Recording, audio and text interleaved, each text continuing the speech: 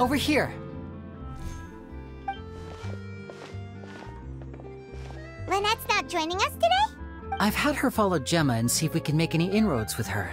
They should be at a cafe right now. Still, I don't think that Gemma's likely to open up to us. so, we need a contingency plan. Today, we'll be looking into a guy named Lorenzo, Caesar's former pupil and assistant. When Caesar passed away, all the stolen goods discovered in his home were confiscated and returned to their rightful owners.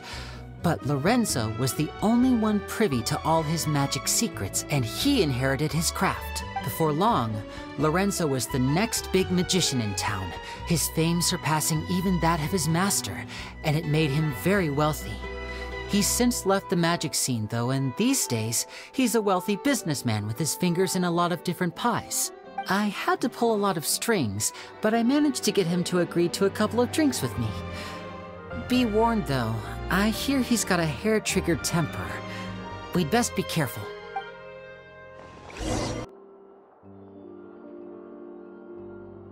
You neglected to mention that you were bringing two other people with you.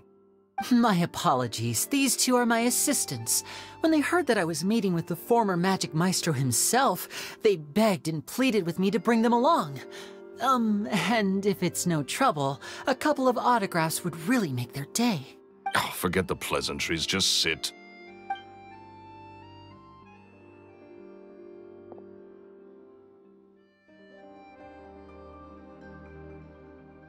Get a load of this guy. Forget the pleasantries, he says, but he looks pretty happy about Lyney stroking his ego. I only agreed to meet since we're both magicians. Do me a favor and cut to the chase. I have more important things to do than drinking. Much obliged, sir. As it happens, the matter I want to address is also related to magic. Yesterday morning, a warning letter from the Phantom Weasel appeared on the entrance to the Opera House. He claims to be planning something for the same evening that I'm scheduled to do a magic show there. As such, I believe that I may well be his target. I have to get to the bottom of this to ensure that my show can go ahead as planned. Naturally, any investigation into the Weasel starts with a few questions about Caesar, who... What is there to investigate? Caesar was the Weasel and he's been dead for 10 years. So what if some sick creep thought it'd be funny to write a warning letter? It changes nothing. Are you trying to tell me you actually bought it? Please, sir, no need to get so worked up. I do concede that a copycat is but one possibility. Possibility? It's a fact, Lyney. Look, my patience is limited, so listen carefully while I'm still willing to put up with you. The Weasel is dead. Period. Everyone knows that, so do yourself a favor and quit this investigation. It'll lead you nowhere.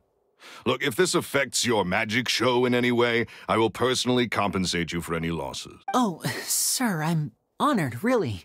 But this isn't about finances for me. My pride as a magician is what's at stake here, Lorenzo. Copycat or not, this person has thrown me the gauntlet, and I must meet their challenge head on. Your pride? Don't mince words with me, boy. Just tell me what exactly are you seeking to do? I want to find out the Phantom Weasel's true identity. I have to know for myself what really happened ten years ago. What would that accomplish? And what do the events of ten years ago have to do with you, anyway? Look, you of all people should know that a magician never reveals their secrets. And in any case, dead men don't talk. So if you really care about your magician's pride, then you'll forget about Caesar and move on. Uh, uh. Uh-oh. This is getting awkward. Renzo? Is that? Oh, it is you! I know that big, uh, booming voice anywhere. What's up, my man? Want to grab a drink with me? Another day, I'm busy. Oh, come on. You can't be all business all the time. Mm, You know what they say? Live fast, die young. You gotta learn how to kick back and relax once in a while. If I wanted your life advice, I'd ask for it. Now get out of my face and go be drunk somewhere else. Sorry, my good sir. I don't believe I've had the pleasure. Oh, hey! Um, Edmondo. He and I are business pals. We worked together a bunch of times. This is your first time meeting him? Oh, he's always like this. Foul mouthed and hard nosed. Never heard a kind word out of this guy the whole time I've known him. Uh, and he wonders why he can't get a girlfriend despite being, what, pushing 40, 30, something? Anyway, point is, a lot older than when he first got rejected by the girl he was into. And He's still into, from what I hear. Shut up and get out of my face. Another word out of you and you can forget about doing business with me ever again. Do I make myself clear? uh, sorry, I may have had a little too much to drink. All right, I'm, I'm gonna leave. Don't work too hard.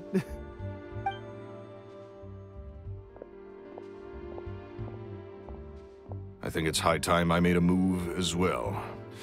If you really want to investigate this, Lyney, be my guest. But if nothing good comes of it, don't say I didn't warn you.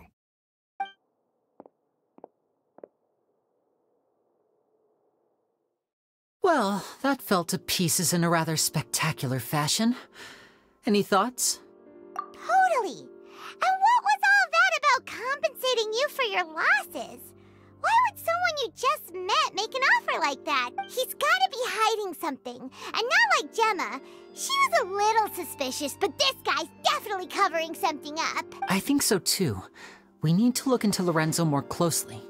That guy Edmondo seems to know a thing or two about him. He only just left. Let's see if we can catch up with him.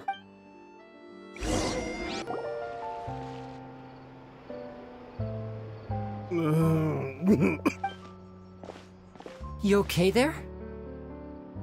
Uh, mm, who are you? Oh, it's you guys. Don't worry about me. I must have had one too many. Uh, I just need to ride it out. I say way too much back there, didn't I? Yeah, I nearly talked myself into complete financial ruin. Note to self, no more drunken chats when Lorenzo's around. So, he was serious about threatening to cut you off? Ugh, Paimon knew he was a bad egg. Hey, hey, hey, hey! Keep your voice down. Don't go prying into Lorenzo's personal affairs. Bad things happen to people who ask too many questions or make an enemy out of him. What kind of bad things? Don't even ask. I'm sorry. Uh, I'm gonna have to cut this conversation short. I'm not crossing that line again. And take it from me, trouble with Lorenzo is one thing you don't need in your life. You some flare up back there. I don't know what you said to him, but clearly it touched a nerve. That's not a good sign. You're, you're too young for this. Don't get in over your head. I'm.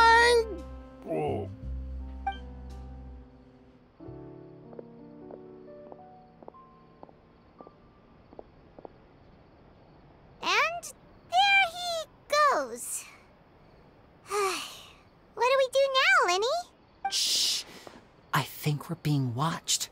Someone was listening in to our whole conversation. Don't say anything and don't look back. Any altercation in the city will attract the guards. We'd better take this elsewhere.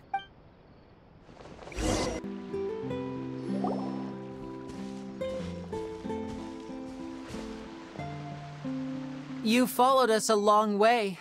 Why don't you come out and introduce yourselves? So you're Lyney. And where's your sister? Ain't she with you today? Save us the trouble and go fetch her for us.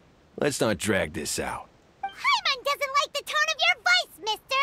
Who sent you, huh? Save your questions, missy.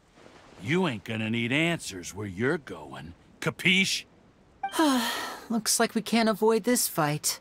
Now, I'm not the strongest fighter, so I hope you're ready to back me up. Don't worry, we got this! Curses. They're Tougher than we thought. Vision wielders are always trouble. Intimidation ain't gonna work like it did on the lady. Come on, let's scram! Hurry, wise guys! We ain't through with you yet! Oh, they got away!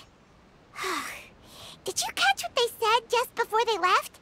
Something about intimidating someone else. Sounds like they just wanted to rough us up as a scare tactic.